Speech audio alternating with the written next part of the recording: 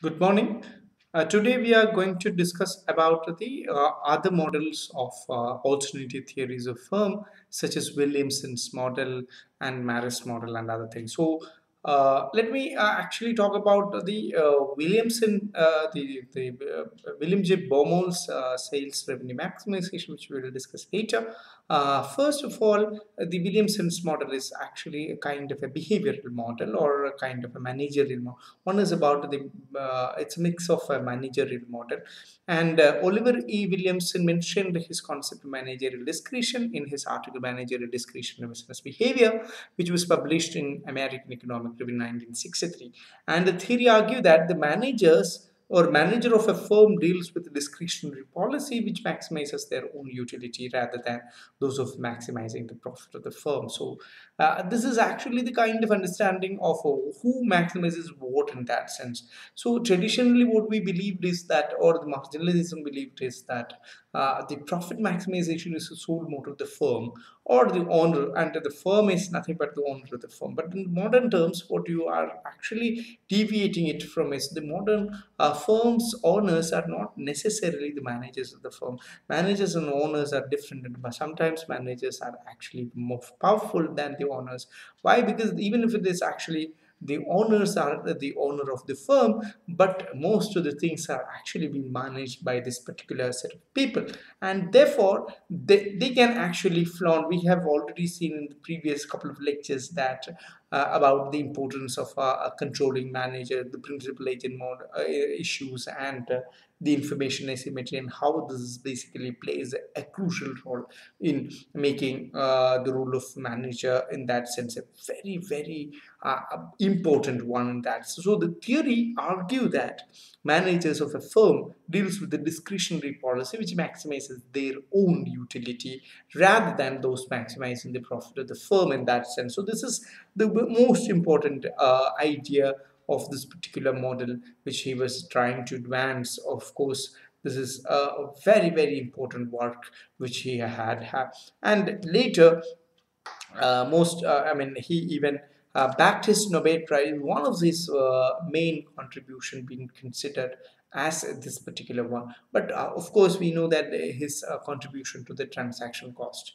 Economics is a very different one altogether. And of course you can see that there is a, an increasing connect between these two aspects in that sense. When it comes uh, from his uh, or when you look into the aspect of managerial or managerial behavior uh, especially to oh, make the capital uh, capitalist interest etc so the utility is maximized through expense expense preference through which a slack payment, discretionary investment, and emoluments are increased in that sense. So thus the utility maximizing function of the manager is a function of a staff expenditure that is S and emoluments M and discretionary investment in that society etc. So these are actually the determinants of basically a maximization function of a manager in that sense. So uh, for example if i have more staff then i feel very happy and my utility may be you know uh, better. So i may be working very hard i will make them work hard etc so these are actually the kind of sentimentality of the managers which in fact makes the uh, firms move ahead or backward in that. So, so uh, these concepts of uh, behavior kind or managers behavior kind is very very crucial and therefore you have u is equal to f of sm id in that sense. Now uh, once you have this thing then uh, we can easily basic relation can be set and uh, the model proposed by Williamson is to be viewed uh, considering certain basic relations such as the assumption of the downward sloping demand curve defines by the firm that is x is equal to f of um, f of uh, p s and epsilon in that so your p is actually the price and s is the staff expenditure and epsilon is demand shift parameter in that so now, when you have a cos C, which is also the function of output, which is now the C is a function of uh, X in that sense. So X is your output in that sense. So then what you can have is actually the cost, which is the function of the output. Uh, then again, actual profit uh, is uh, what you uh, notated as the pi, and pi is actually nothing but the revenue minus cost minus the staff expenditure in that sense. So now uh, earlier what you see is the revenue minus cost and that cost includes the cost of manager but it is actually the staff expenditures which is also made by it may be normally additionally made by.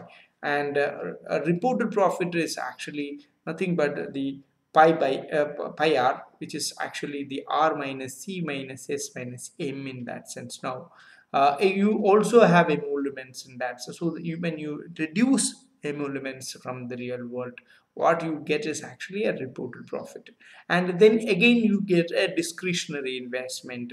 And that portion portion is nothing but the IT which is equal to the profit uh, the reported profit minus the uh, pi 0 that is uh, pi 0 minus t in that sense so a discretionary profit is whether you can go for a tax or whether you can go for something other than that uh, you know, uh, which is all gives a kind of the level of profit which is discretionary. So discretionary profit is also very, very crucial and you have a discretionary investment also in that sense. So again, when you have a discretionary profit, that is nothing but the, the, the actual profit minus the uh, uh, pi 0 minus t in that sense. So uh, when you have all this in place, then managerial emolument is assumed to be zero. That is m is equal to zero. This implies that your reported profit is equal to the actual profit. That's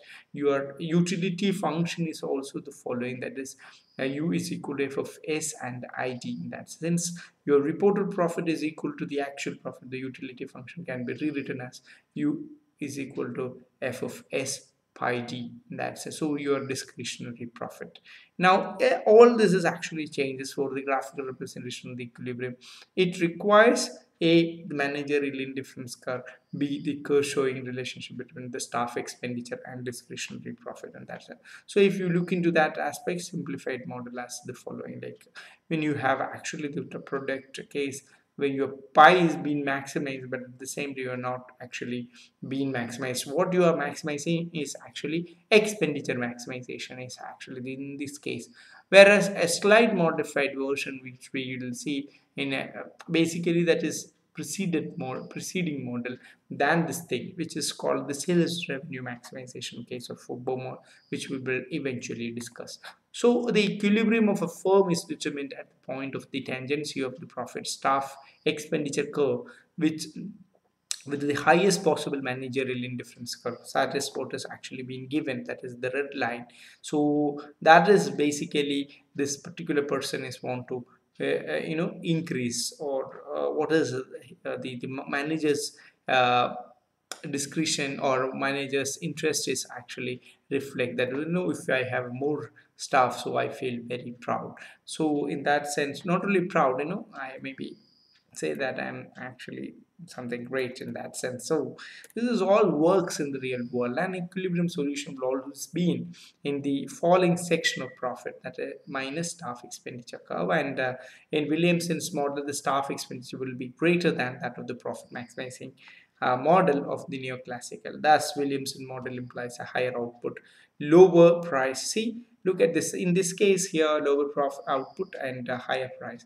Whereas in the williamson model a higher output as well as with a lower price in that sense. So uh, uh, lower price and a lower level of profit that is the profit maximizing model that sense. So it is not a profit maximization model any longer. So here in the general model emoluments that is m is included. Thus the utility maximization function can be rewritten as you have a ux a u, u, u which is equal to function of sm sm uh, that is the earlier the staff expenditure and now the emolument uh, the expenditure and the uh, difference of the uh, revenue which is uh, reported one and the uh, the discretionary one. The last equation obtained will be this case and you have a u f of s and 1 minus l and r minus c minus s again you have a 1 minus t and r times rc r minus c minus s minus m uh, uh, minus you have a profit of uh, the original kind then you have an l which is actually nothing but the, the reported profit by the actual profit in that sense. So this is actually kind of a uh, parameter which we obtain and given t uh, by tax laws and uh, pi zero minimum minimum profit uh, demanded by the equity holders in that sense and the utility function will be. So your pi zero is actually the kind of a profit which is a minimum profit which people you know a kind of a in order to run a firm you have to have at least this kind of uh, kind of uh, you know uh, profitability. And that is what has been represented always with the pi zero in that sense. Now once you have all these things this finally you will have a derivation which is dou r by dou x which is equal to dou r by dou c is obtained from which uh, it can be concluded that the firm makes its production decision in the conventional way by equating marginal production cost to marginal revenue in that sense. So you have a dou r by dou s is less than 1 imply that the equilibrium firm will employ staff beyond optimum level in that sense. So again, this is also beyond, uh, I mean, uh, this is also goes beyond the, the traditional understanding that why uh, you are not actually maximizing only profit, but at the same time, in that context, you know, the price would be the maximum and the quantity would be limited in that sense. But here what they say that they when you compare with that uh, what you do is actually you increase the quantity along with you are reducing the price in that sense. So there will be no slack payment to managers or discretionary investment if firm is a profit maximizer where both are positive in the williamson's model was was being treated as one of its implication. And the staff expenditure will be larger in williamson's model that is sw which is greater than the uh, promax in that sense. So uh, the profit maximization firm will spend on staff only up to the point where MC, MC in staff which is equal to MR from staff while utility maximizing manager will employ staff beyond that. Now again, they implicitly what they are trying to do in this particular model is that they're bringing the marginalist condition because what they believe is that actually the marginalist condition somewhere offer, operates but not everywhere in price determination etc no, not necessarily but when you have some sort of a reservation as a uh, you know manager or as an owner of the thing in that uh, context. So it is also typically bringing back the original idea of marginalism into the newer uh, alternative theory of firm though in a limited fashion in that sense. So although first order condition of equilibrium is same as both model no definitional prediction can be drawn above the level of output in that context. So to sum up or the summary staff expenditure movement and discretionary investment will be larger for a firm that maximizes the utility than for a firm maximizing profit. Hence, no general conclusion can be drawn regarding the level of output in this case. Now, this model is not actually free from criticism in that. So, as I said, one of that is in the a, few seconds ago. So the the model fails to describe how business take their price and output decision in a highly competitive setup and the relationship between better performance of a manager and the increasing amount spent on managers utility by the firm is not always true. And the model does not apply in a dynamic setup uh, like changing demand and cost condition during boom and recession. To conclude uh, about this particular thing that is the, the model is uh, this model is applicable in market where rivalry is not strong so, uh, for example, in an oligopolistic market where there is some form of collusion or for firm uh, who uh, have some advantages over their rival, uh, however, in the long run, such advantages which shelters a firm from competition are usually weakened and competition is enlarged. When rivalry is strong, this is not going to actually applicable in that case. So um, uh, a profit maximizing model may be more appropriate and uh, some form of collusion agreement is achieved and firm adhere to it.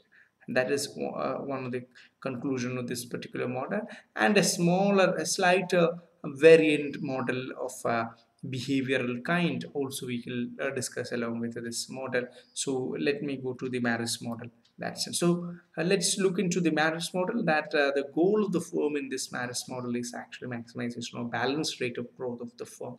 So instead of manager's interest in the Williamson's case, Marris what is uh, Marris was trying to articulate that you know the growth of the firm is largely important than simply the managers uh, growth themselves so it is actually self-centered of the manager but at the same time the firm's uh, growth is what is actually everybody's interest in that sense. so this is actually the kind of a shift which which Marris was trying to uh, basically uh, you know draw and big firms are managed by managers and uh, shareholders are the owners of this case and the managers aim at the growth of the firm rather than actually only you know maximizing their profits and the shareholders aims to maximize of their dividends in that sense. So it is not really the manager's issue alone.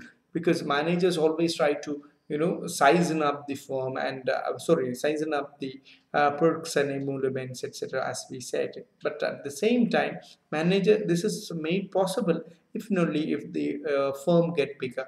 At the same time the same is actually on the contrary the owner's interest also that is if the uh, firms uh, works well and then and then only they can actually gets bigger and bigger then and then only they can get a better dividend in that sense. So they also want to maximize their uh, dividend in that sense. At the same time the managers want to maybe uh, improve their interest in that sense of uh, increased perks or emoluments etc now based on all this uh, the the theory also follows certain assumptions that it assumes a given price structure production costs are hidden there are there is no oligopolistic interdependence factor price are constant. The third one is most important thing and factor prices are constant and firms are assumed to grow through diversification. And that's and all major variables such as profit sales cost are assumed to increase at the same rate in this case. So now once you are setting this assumption then let's explain the uh, theory. That is the objective of the firm is to maximize its balance growth rate that is g minus g uh, it uh, that is g itself depends on two factor that is uh, sorry uh, not g minus g it is g and g is actually depends on two factor that is the rate of growth uh, demand for the firm's product that is GD uh, rate of growth of uh, demand for the product and the second one rate of growth of capital supply that is GS thus G that is the growth of the firm is actually dependent upon the growth of the demand and the growth of the supply in that sense. So uh, accordingly or uh, uh, there are two different or uh, utility function for managers and the owners in that sense. So the utility of manager includes status, power, job, security, etc., etc., whatever. And at the same time, the owner's utility function is based on uh, profit per capital, output, etc. So Marris analyzes that the firm try to achieve its growth maximization goal rather than simply you know the letting the managers maximize their behavior in that sense. Now this is we have already seen in the principal agent. I mean oh, this is all the setting stage of the principal agent model and information asymmetry model. sorry in the 1960s and uh, sorry 19, in the late 1960s and early 1920s uh, 70s in that sense the firm may grew uh, in size through the creation of new product which uh, creates new product markets and uh, Marris call it differential diversification in that sense. So uh, uh, he also introduced or the introduction of new product depends on the rate of diversification, advertising expense, research and development expenditure etc so all this is in fact in, in, uh, increases the cost of the firm and however this is increasing the, uh, naturally the profit will fall in that sense. On the contrary at the same time the firm size will increase or the growth will happen and that will increase the dividend as well as the perks and other things of the other two elements in that uh, or uh, the the important players in the firm itself so the uh, the higher rate of the diversification requires higher expenditure on advertising and research and development in that sense. So as a result, beyond a certain growth rate of the higher higher growth rate leads to lower profitable profit rate in that sense. So this is another striking observation which Marris had and the main goal of the shareholder is to maximize as we said that the maximization of the growth rate of the capital stock and the main source of the finance for its growth is the profit itself. Thus, profit determines growth of the supply side. Uh, for the equilibrium, the growth of the demand and the growth of the supply must be satisfied and satisfied in that context. so now uh, once you have this thing then the higher level of the profit uh, provides more funds directly for reinvestment and it also allows more funds to be raised on the capital market and if the mark uh, the manager adopt a higher retention ratio then the distribution distributed profit will fall further and shareholder will not uh, be satisfied with will, which will endanger the job security of managers the existing shareholders decide to replace manager if the distribution of low profit to shareholders bring a fall in the market price of shares. So it may lead to takeover of the firm ultimately. This is what is actually happens with this particular model. And according to Marris this retention ratio which determines the growth of the capital supply and it is the ratio the retained profit uh, to total profit. So uh, if the ratio is low it means that almost all profit have been dis distributed to the shareholders. Uh, but uh, this is uh, in fact uh, not uh, so realistic for many people. So this is also invited a lot of criticism. That is actually a market assumes a given price structure of the firm does not explain how prices the product are determined in the market itself. So this is very important and it ignores the problem of oligopolistic interdependence of the firm as in the beginning it has been assumed in a non-collusive market case. So model does not analyze interdependence created by a non-price competition and the assumption that also uh, all major variables such as profit, sales and cost increases at the same rate is highly unrealistic. And finally this model is on applicable to those firms which produce consumer goods and the model is not appropriate uh, for analyzing the behavior of manufacturing business or traders in that sense. So uh, these are actually the kind of criticism against but uh, remind, uh, i would like to make a humble uh, reminder that you know, when you talk about theory and all so simply going against the assumptions of the theory is not what is we supposed to do as uh, Friedman said. So again I have reservation on simply. But at the same time holding the theory and uh, if the, the, the, the, assumption is not or the theoretical proposition is not working then you can say that the theoretically this is incoherent in that sense or it's not sound in that sense. But then that you know uh, the realistic and realistic discussion um, is actually having its own limit however it's relevant and all with this let me conclude the altern alternative theories of firm uh, discussion. And we will also one more uh, paper on uh, the Williams uh, sorry uh, Baumol's uh, sales revenue maximization which is already given. It's a simple one. How they are uh, maximizes their profitability etc will be discussed later. With this let me conclude today's lecture. So thank you for your patient listening and you know um, um, uh, other things. So let me uh, stop today. Thank you so much